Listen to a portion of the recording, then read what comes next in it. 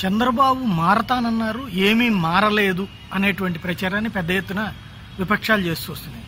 వాస్తవానికి గతంతో పోల్చుకుంటే చంద్రబాబు నాయుడు మూడు యాంగిల్స్లో మారారు. గతంలో సంక్షేమ పథకాలని చాలా లైట్గా తీసుకుంటుండేవాళ్ళు. ఆ సంక్షేమ పథకాలకు అనవసరంగా వృధా వ్యయం చేయడం అనేటువంటి కోణం కారణంగానే చంద్రబాబు నాయుడు మీద పేద ప్రజల్లో తీవ్రమైనటువంటి వ్యతిరేకత ఉంది ఈ దఫా మాత్రం ఆ సంక్షేమ పథకాల విషయంలో రాజశేఖర్ రెడ్డికి లబ్ధి చేకూర్చింది సంక్షేమ పథకాలు. అది ఫీజు రియంబర్స్మెంట్ కావచ్చు ఆరోగ్యశ్రీ కావచ్చు వన్ నాట్ ఎయిట్ కావచ్చు. ఇట్లాంటి స్కీమ్స్ అన్నీ కూడా రాజశేఖర్ రెడ్డికి అద్భుతమైనటువంటి పేరు తెచ్చిపెట్టి శాశ్వతంగా పేదలకి మదిలో ఉండిపోయేటువంటి చాయిస్ వచ్చింది. ఒకప్పుడు రెండు రూపాయల కిలో బియ్యం మద్య నిషేధం లాంటి ఎన్టీ రామారావుకి ఎంతటి పేర్లు తెచ్చిపెట్టినాయో అదే విధమైనటువంటి పేరు రాజశేఖర రెడ్డికి ఇందిరమ్మ ఇళ్ళు కావచ్చు రాజీవ్ గృహకల్ప ఇళ్ళు కావచ్చు ఇట్లాంటివన్నీ కూడా తెచ్చిపెట్టినాయి. అట్లాంటి దాని తర్వాత చంద్రబాబు నాయుడు నేను మారాను అంటే అధికారంలోకి వచ్చారు. ఆ రావడానికి కారణమైనటువంటిది అడ్మినిస్ట్రేషన్కి సంబంధించి అయితే స- రెండు విషయాల్లో కీలకమైనది మారారు. అది ప్రభుత్వ ఉద్యోగుల విషయంలో గతంతో కంపేర్ చేసుకుంటే ఈ దఫా అసలు యాక్షన్సే లేవు. కేవలం ఓ రకంగా చెప్పాలంటే పూర్తి లిబరల్గా లేజర్గా వదిలేశారు వాళ్ళు. పని చేస్తున్నారా చేయట్లేదు అనేది కేవలం ఫోన్ సమీక్షలు అది కూడా మారాల్సినటువంటి అవసరం ఉందని ఇంకా ఇప్పటికి కూడా ఉద్యోగులు అంటూ ఉంటారు. ఎందుకంటే కాన్ఫరెన్సుల పేరుతో టెలికాన్ఫరెన్సుల పేరుతో ఈవెన్ మొన్ననే జేసీ దివాకర్ రెడ్డి కూడా చెప్పాడు ఎంఆర్ఓ దగ్గర నుంచి ఆర్డీఓ దగ్గర నుంచి ప్రతి ఒక్కళ్ళు టెలికాన్ఫరెన్సులకి పరిమితం అయిపోతూ ఉన్నారన్నటువంటిది. బట్ గతంతో పోల్చుకుంటే గతంలో అయితే కనుక ఆకస్మిక తనిఖీలు అధికారుల మీద చర్యలు సిబ్బంది మీద చర్యలు ప్రభుత్వ ఉద్యోగుల మీద చర్యలు ఇట్లాంటివి ఉండేది అసలు ఈ దఫా అట్లాంటిది ఒక్కటి కూడా జరగలేదు.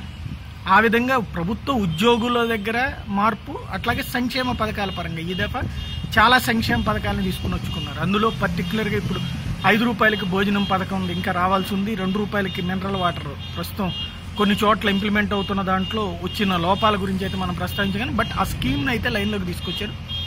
ఇవి ఇంకా జనంలోకి డీప్గా పోవాల? ఏది నూట యాభై రూపాయలకే కేబుల్ కనెక్షన్ కానీ ఇట్లాంటి సంక్షేమ పథకాలు ఇంకా జనంలోకి వెళ్ళలేదు. ఎందుకంటే ఆ కింద స్థాయిలో ఫెయిల్ అవ్వడం. బట్ సక్సెస్ అయినటువంటి పథకాల్లో కనుక చెక్ చేసుకుంటే పర్టికులర్గా ఎక్కువగా ఇప్పుడు కనబడే ఇంతవరకు జరిగిపోయిన వాటిలో కనబడేది రుణమాఫీ.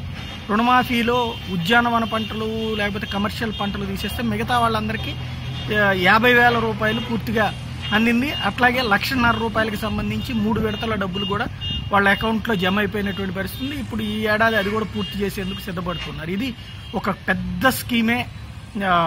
సక్సెస్ఫుల్గా చేయడం. రెండవది కాపు కార్పొరేషన్ బ్రాహ్మణ కార్పొరేషన్ ఇట్లా కార్పొరేషన్ల ద్వారా సంక్షేమ పథకాలని వాళ్ళకి లబ్ధి చేకూర్చడం. ఇంకొకటి బియ్యం ఐదు కిలోల చొప్పున ఒక్కొక్కళ్ళకి అందజేయడం. పెన్షన్లు వెయ్యి రూపాయలు చేయడం. ఇవన్నీ కూడా సంక్షేమ పథకాల్లో ఒక మెట్టు అయితే జెరూసలేం యాత్రలకు లేకపోతే మక్కా యాత్రలకు డబ్బులు చెల్లించడం లాంటివన్నీ కూడా తాజాగా ఇచ్చినటువంటి ఇవి కాకుండా ప్రత్యేకించి సంక్రాంతికి రంజాన్కి క్రిస్మస్కి ఇచ్చేటువంటి కానుకలు.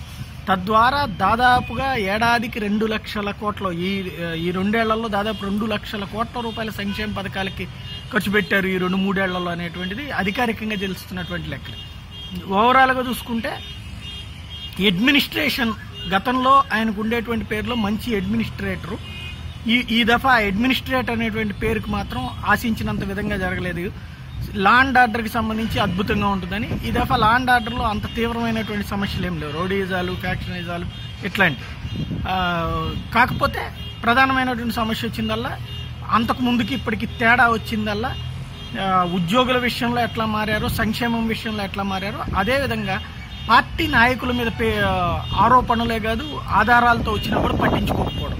మొత్తం మీద కొన్ని ప్రయోజనకరమైన మార్పు కొన్ని ఇబ్బందికరమైనటువంటి మార్పు. బట్ ఓవరాల్గా అయితే మారారనడంలో అతిశయక్తి ఉంది.